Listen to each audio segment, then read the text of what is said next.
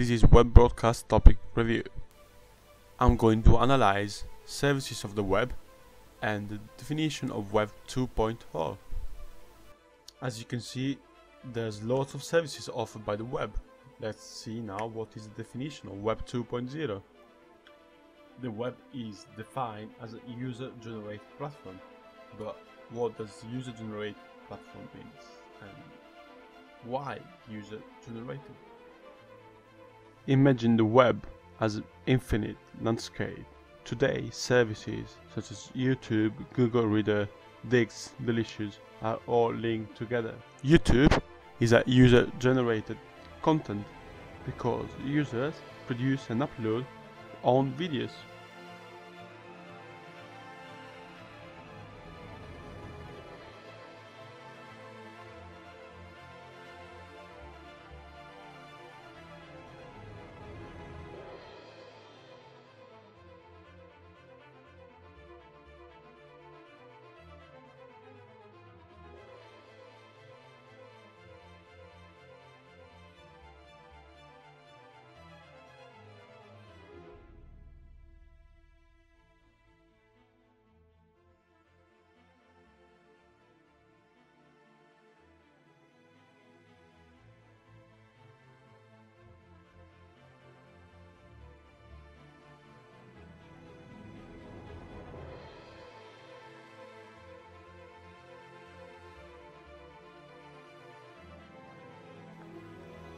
Digg is a user-generated filtering because users give good or bad opinion on content shared over other platforms.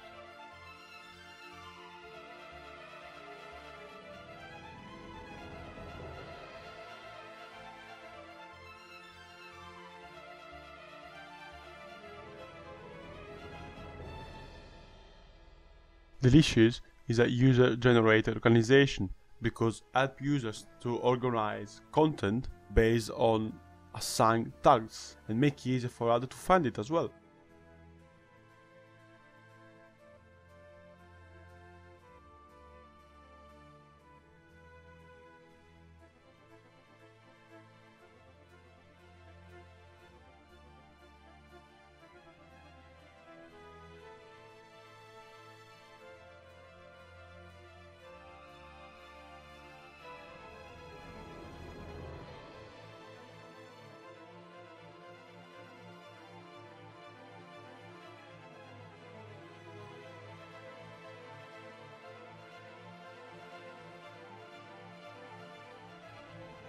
Google Reader is a user-generated distribution because put together all information from different platforms all in one web page and it's easier for the user to reach those important ones.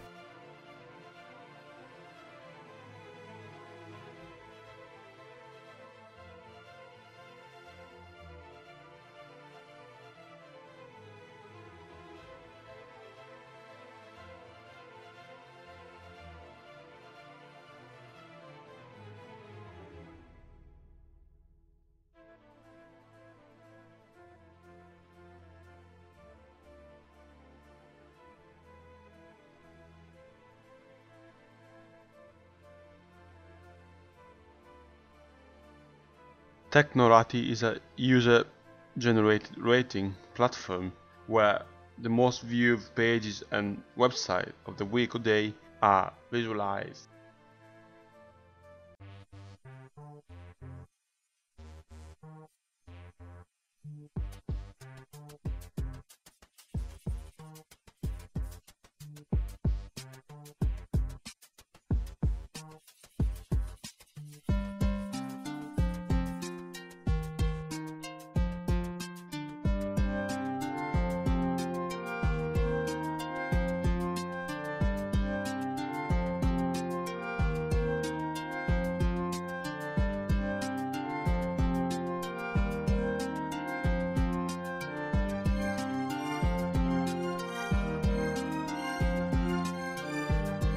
There was an experiment by Michael Wesch, professor at Kansas University, which consisted in uh, uploading a video about Web 2.0 on YouTube, uh, sharing that with Digg and Delicious, and try to get listed on Technorati website.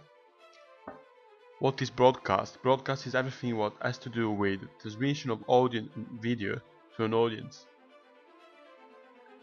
So, we talk about what is Web 2.0 and what is broadcasting. Let's try now to put these two words together. Web broadcasting is basically utilizing dynamically changing web platform with the aim of broadcasting live or recorded audio video, which means utilizing the user-generated Web 2.0 to deliver an image or a message from the broadcaster to the audience. Thank you all for watching. I hope you know now what is Web 2.0 broadcasting.